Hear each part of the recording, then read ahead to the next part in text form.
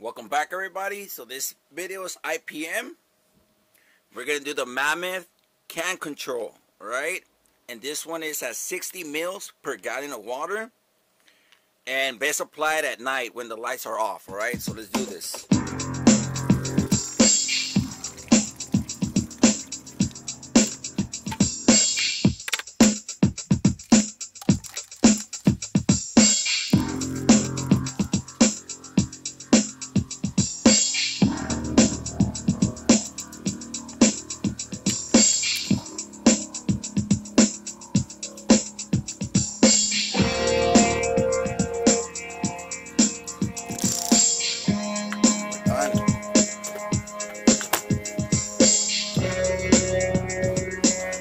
Right, everyone. That's it.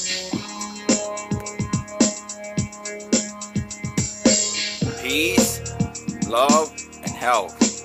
Laters. We're gonna play this real quick.